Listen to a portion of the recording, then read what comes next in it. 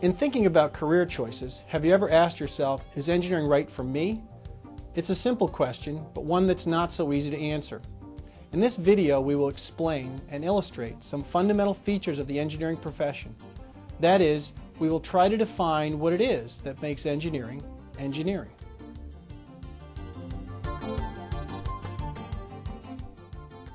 Engineering is an incredibly diverse and exciting field, but it can also be confusing because there are so many types of engineering. Examples of engineering fields include civil, chemical, electrical, environmental, computer, mechanical, industrial, aerospace, biomedical, construction, and agricultural.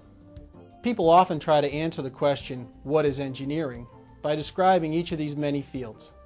That may be useful if you know you want to be an engineer, but if you're not sure engineering is right for you, a good place to start is to take a look at the common characteristics of all these fields.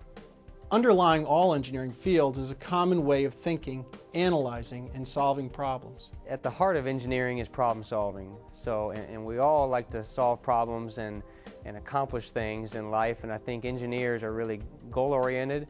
Uh, they like to uh, have objectives, have dreams, have goals, and accomplish them. So if you've got uh, some interest in mathematics and some interest in physics and applying those to everyday challenges and solving them and seeing the fruit of your labor come to increase the quality of people's lives, and engineering is a great field for you.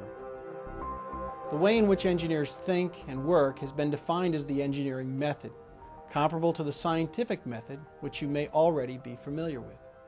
The engineering method is defined by four characteristics. First, the engineering method is used to analyze, model, and solve complex technical problems that require an integrated, interdisciplinary view of problem solving.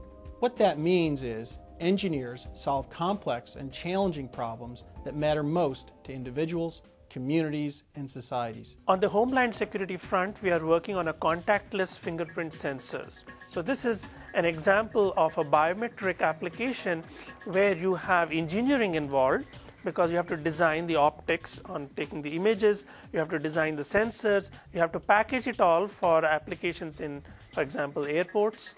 And then there is the computer science and software involved in actually doing the matching between a pair of given fingerprints. Another characteristic of the engineering method is that engineers conceptualize complex systems as a collection of smaller, simpler components. Engineers work to simplify these systems by keeping the important components, eliminating the less important, and then using mathematical relationships to describe the important characteristics of the system. Engineers break down complex systems into simpler components and, in a sense, take the problem apart, not physically, but intellectually. And central to the way engineers think is quantification. The third characteristic of the engineering method is the development and use of mathematical simulation models. Such models become the engineer's tool for examining, understanding, visualizing, and designing complex systems. Although engineers may conduct experiments using scale models, the use of mathematical computer simulation models is common across all engineering disciplines. Because a simulation model must incorporate all the important characteristics in a system, you can think of their development as putting a system back together. Finally, the engineering method involves synthesis and design. Engineers design useful devices, products, or systems within a broad context of users, organizations, or communities. In this process, engineers must take into account factors such as reliability, safety, flexibility, economy, and sustainability. Many people think that um, math, that engineering is just about liking math and science, and that is a component of it. But an engineer doesn't sit in a cubicle just doing calculations all day. Engineers work as usually in big multidisciplinary teams. Um, they need very good communication skills, interpersonal skills, problem-solving skills.